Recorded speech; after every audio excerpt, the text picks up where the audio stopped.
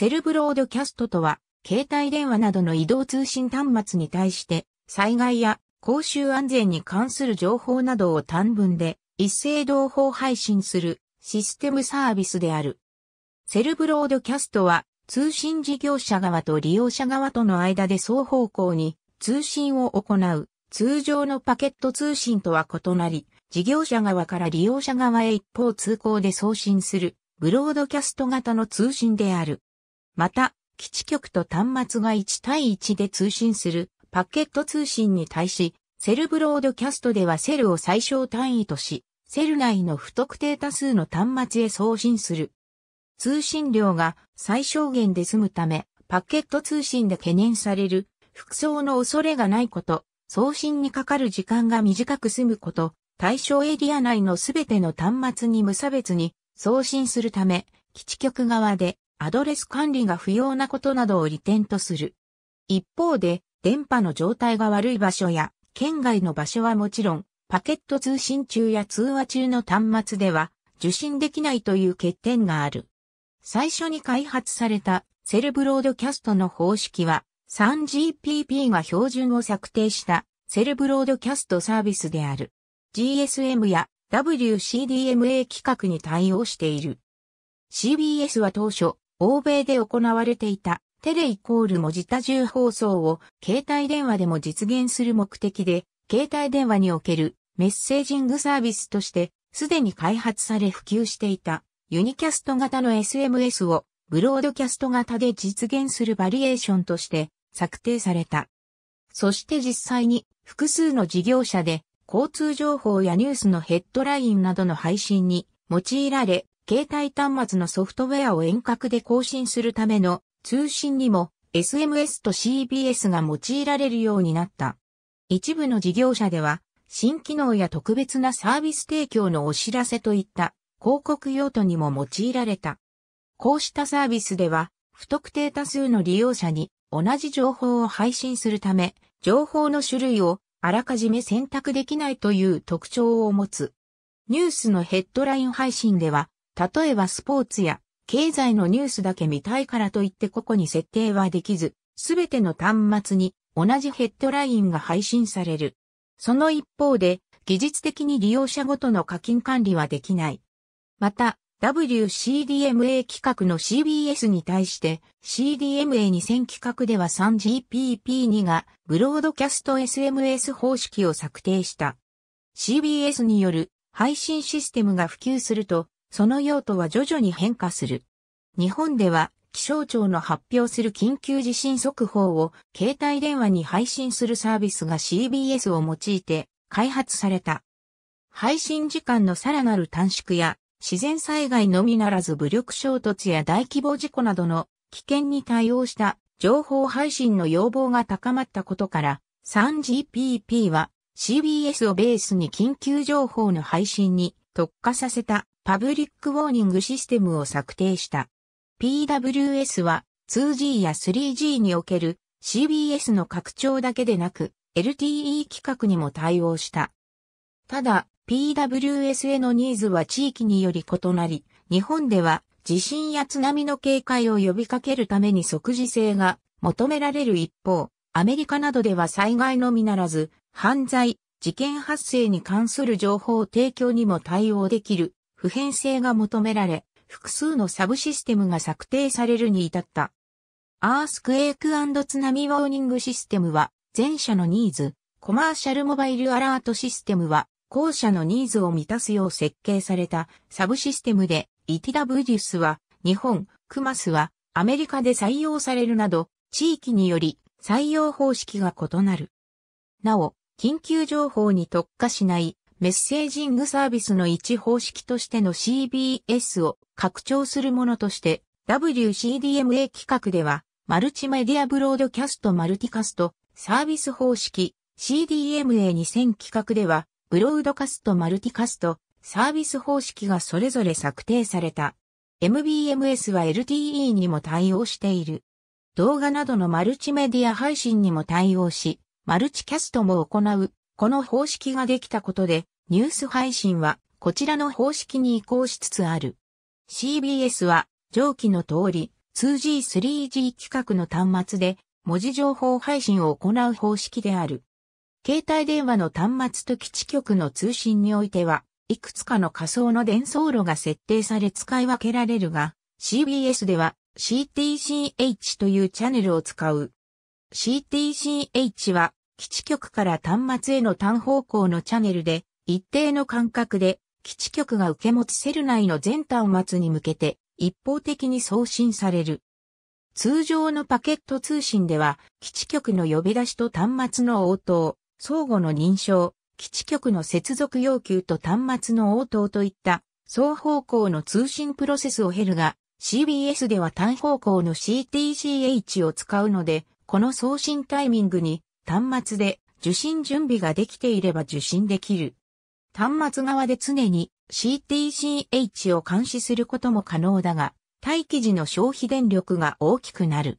一方でこれを抑えようと CTCH の送信間隔を長くすると、特に災害情報に必要な即時性が失われる。このため、通常は CTCH をオフとし、必要時のみ ON とする設定を事業者側で行うのが普通である。端末側にタイミングを知らせるために使うのは、一定の間隔で基地局からセル内の全端末に向けて送信されているシステム情報の BCCH とページング用の PCH といういずれも単方向のチャンネルである。BCCH には CTCH が ON であるという情報が付加され、PCH には BCCH に変更があったという情報が付加される。BCCH は端末の電源が入った時など不定期にしか読み込まれないため、定期的に読み込む PCH に情報が付加され、これが端末側に CBS 配信を知らせる起点となる。事業者側では CBE、CBC、SGSN、RNC、BTS の順に伝達される仕様になっている。CBE は情報の発信元である。CBE から情報提供を受けた CBC は CBS のメッセージ作成と配信先の決定を行う。例として日本で緊急地震速報の配信を行う NTT ドコモのエリアメールの場合、速報を発表する気象庁と、それを仲介し伝聞にして各機関に送信する気象業務支援センターが CBE に該当する。緊急地震速報の伝聞は規定のフォーマットになっているので、これを受信した CBC は自動的に伝聞から情報を抽出してメッセージ作成等を行う。CBC は SGSN を経由して配信先の RNC に CBS のデータを送信する。そして RNC は受け持ちのセルの BTS に送信、BTS がそれを電波にして発信し、そのエリア内にいる端末が受信する流れとなる。CBS の仕様としてデータは1ページにつき88オクテット、そのうちテキストは82オクテットで、文字にして93文字までに制限される。ただし、15ページまで連結可能で、その場合最大1395文字となる。見出しあるいは重要な情報を1ページ目に置き、2ページ目以降を補足事項とすることが可能。特記すべき点として、待ち受け中の端末のみが CBS を受信可能であることが挙げられる。通信中の端末は CTCH や PCCH を含む SCCPCH を受信しないため CBS を受信できない。したがって、すべての端末に CBS を配信することができないという技術的な制約となっている。ただし、何度も繰り返し送信することで配信確率を上げることは可能である。NTT ドコモのエリアメール等では繰り返し配信して確率を高めるとともに端末側ではメッセージがすでに受信済みなのか新規なのかを識別して受信済みであれば発揮する制御を行う。日本の NTT ドコモは CBS 方式のエリアメールを2007年12月に開始している。またソフトバンクモバイルも同方式の緊急速報メールを2012年1月に開始している。両サービスでは CBS を受信した端末がブザーを明動したり、振動したりする。これは端末の設定に依存する。つまり、受信した CBS のメッセージを読み込んで、明動、振動するよう設計された、両サービスに対応した端末のみ明動、振動する。このほか、いくつかの国や地域で導入されている。WCDMA 規格の CBS に対応するものとして CDMA2000 規格向けに策定された方式。BCSMS 方式では基地局から端末へのメッセージ送信に PCH、FCCH、PCCH のいずれかのチャンネルに設定した同胞配信用のスロットを利用する。待ち受け中の端末にメッセージ送信を知らせる方法は2通りある。SPM という信号を用い、前述の中の一つを専用スロットに指定して常に監視させる方法と必要時にすべてのページング用スロットに BCSMS の開始通知とスロットを指定するインデックスを付加する方法がある。前者は待機時の消費電力が大きくなり、これを抑えようとスロットの間隔を長くすると即時性が失われる。後者は待機時の消費電力を抑えられるが、開始通知からメッセージ送信までに一定時間空ける必要があるため若干のタイムロスがある。事業者側では発信機関 BSD-SMSC、MSC 基地局制御装置基地局の順に伝達される。情報元の発信機関から情報提供を受け、BSD がメッセージ作成と配信先の決定を行う。SMSC はそれに制御情報を付加し、MSC が該当するセルの基地局に送信、基地局が電波にして発信し、そのエリア内にいる端末が受信する流れ、日本の KDDI は BCSMS 方式の緊急速報メールを2008年3月に開始している。このサービスにおける明動、振動も端末の設定に依存する。スマートフォンの待ち受け画面における PWS のポップアップ表示のイメージ日本の NTT ドコモが CBS 方式で開発したエリアメールの技術をベースに策定された。最低限の情報に限った第一通知とそれを補足する第二通知の二段構成にし、第一報を理論上最短約4秒で配信する要求条件を定めていることが特徴。CBS では無線基地局から端末への送信に CTCH という専用のチャンネルを使うが、LTE 向け TWS では共通のチャンネルでの送信に改良された。また、CBC では、ページングチャンネル読み込み放置チャンネル読み込み、CTCH 読み込みの3段階だったが、LTE 向け TWS では、ページングチャンネル共通チャンネルと短縮された。さらに、CBS のように、待ち受け中だけでなく、通信中の端末も受信できるようになった。以下、LTE 向け TWS について述べる。伝達順は CBE-CBC メイン部端末である。情報元である CBE から情報提供を受け、CBC はメッセージ作成と配信先の決定を行う。CBC は作成した災害の種類、メッセージ文、配信するエリアなどの情報、さらに必要時は第一通知情報を Write-Replace Warning Request という信号にまとめ、 MME に送信する。情報の主な仕様を以下に示す。 MME は該当エリアの eNB に Write-Replace Warning Request 信号を送付する。同時に、 MMEは CBC に応答を返し、さらに CBC から CBE に応答が返されることで、CBE は処理が開始されたことを確認する。 eNBは配信情報を電波にして発信し、そのエリア内にいる端末が受信する。具体的にはまず、ページングチャンネルにおいて、 ETWS の送信を知らせる、 ETWS indication というビットを付加したページングメッセージを配信する。この処理は他の処理に優先して行い、繰り返し配信することで端末の受信率が高まるよう設計された。端末がページングチャンネルを確認する周期は標準規格上320ミズ、640ミズ、1.28S、2.56S のいずれかであり、この時間内に1回は受信のチャンスがある。次に、イン部は共通チャンネルで一定間隔で配信されている放置情報の特定のブロックに ETWS メッセージをセットして繰り返し配信する。支部12第1通知、支部11に第2通知が入る。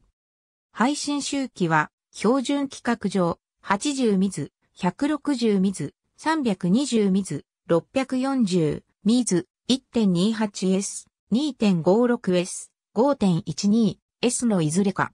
ただし、運目から新規に信号を受信した時点で、陰部は前期の周期に関わらず速やかに配信を始める。支部10は、災害種別を示すパラメータだけの短い情報のため、一つの配信サイクル内で受信が完了し、速やかに端末が動作する。支部10を受信した端末は、あらかじめの設定により、災害種別パラメータに対応した短い文章のポップアップ表示、明動や振動を行う。支部11は配信されるメッセージ本文で最大で9600オクテットに及ぶやや長い文章を入れられる。文章が長いと複数の配信サイクルにまたがって受信し、デコードを行った後文章を表示するため若干の処理時間がかかる。なお、端末は繰り返し配信される情報を受信するたびに災害種別を示すパラメータを確認して重複表示を防ぐ。3G 向け TWS の場合、ほとんどの仕様は CBS と共通だが、新たにページング信号に災害種別を示すパラメータを設けた。これにより、端末が配信を初めて知るページングチャンネル読み込みの段階で、あらかじめの端末設定により、災害種別パラメータに対応した短い文章のポップアップ表示、明動や振動を行うことが可能となり、CBS よりも時間短縮が図られた。ETWS 対応の端末では、通信キャリアとの契約を解約しても、解約済みの SIM カードが挿入されている場合、受信できる場合がある。近年は家電量販店で SIM フリーの格安端末が売られているが、機種によっては ETWS に対応していないものもあり、その場合、受信できない。スマートフォンにおける実際の PWS のポップアップ表示クマスはアメリカの情勢変化や法律制定に対応するために策定された方式。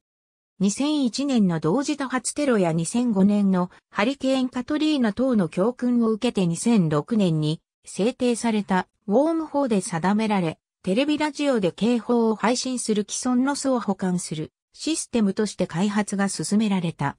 クマスの伝達は WNP アグリゲーターアラートゲートウェイ、ゲートウェイ交換機、基地局端末という流れ。WNP は警報を発信する機関であり、政府機関や自治体など複数ある。アグリゲータはこれらを一手に収集し、正規の機関から発信されているかどうか認証した上で優先順位を決めて送信する。アラートゲートウェイは情報をもとにメッセージ本文を作成して送信する。優先順位は3段階ある。1が最優先であり、2と3はアグリゲータに送られてきた順番に送信される。2と3は端末側でオフに設定できるが、1はそれができない。プレジデンシャルアラーツ、大統領級の警報。国家的な危機や非常事態において、大統領が全国民に向けて発するイミネントスレッドアラーツハリケーンや竜巻など、安全を脅かす緊急事態。以下の3要素により細分される。チャイルドアブダクションエマージェンシー、アンバーアラーツ子供の誘拐、失踪情報。アグリゲータとアラートゲートウェイはアメリカの連邦政府が管理しており、情報の認証や優先順位の決定、さらには本文の作成まで行う。これは通信事業者がメッセージ本文を作成する ETWS と異なる。WNP からアグリゲータへ送信される情報は CAP という統一様式の伝文にすることが定められている。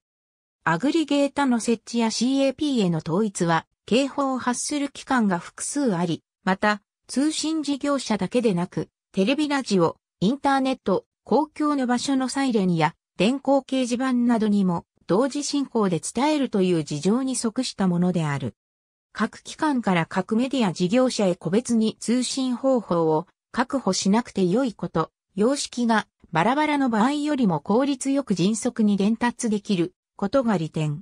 ゲートウェイと交換機、基地局は通信事業者が担うが、できるだけ地理的な選別を行うことが定められている。